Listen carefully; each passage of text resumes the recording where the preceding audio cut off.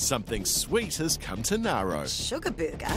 That doesn't sound very health conscious. But in my world, sugar reigns supreme. And the bandits smell a rat. What if they're making burgers out of children? But this time, they may be in over their heads.